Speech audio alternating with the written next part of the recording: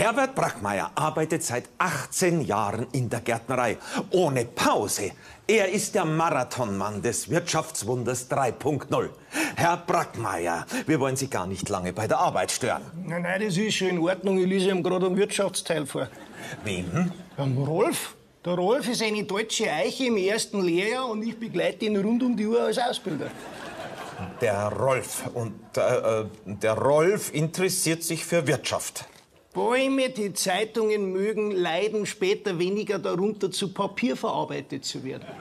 Herr Brackmeier, Sie arbeiten seit 18 Jahren ohne ein Stückchen Freizeit. Wie halten Sie das aus? Ja, das hat natürlich schon sehr viel mit Willenskraft zu tun. Ja, aber Sie haben ja 18 Jahre lang nicht geschlafen. Dafür schauen Sie sehr vital aus. Wie alt sind Sie? 33. Toll. Und machen Sie noch etwas nebenher?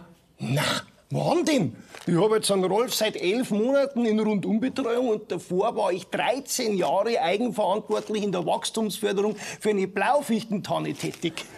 Ja, das klingt sehr anspruchsvoll. Ähm, können wir die mal sehen? Na, ja, da haben wir nach 13 Jahren festgestellt, dass wir den Tannenzapfen leider verkehrt rum eingetopft haben. Und wir waren sie war bloß so schüchtern. Ja, Sie haben also 13 Jahre lang äh, auf einen Topf mit Erde geschaut. Äh, haben Sie denn mal was mit ihm unternommen? Ja, wir waren schon mal in Urlaub. Äh, Also Dienstreise nach Kanada zur Motivation in Mischwäldern. Ja, bevor wir uns jetzt hier verplappern, Herr Brackmeier, Sie haben ja auch einen Kollegen, der dieselbe Idee gehabt hat. Können wir den mal sprechen? Der Peter, der Peter hat einen Arbeitsunfall gehabt. Arbeitsunfall, ja, dem ist eine Buche in die Nase gewachsen. Nein, nein, nein, der hat einen Bambus betreut. Und der Bambus wächst ja 1,20 Meter am Tag. Nach sechs Stunden hat der Peter ein Burnout gehabt. Gell? Ich sage euch, natürlich, wir arbeiten hier wie die Tiere, aber es hat alle seine Grenzen. Ja,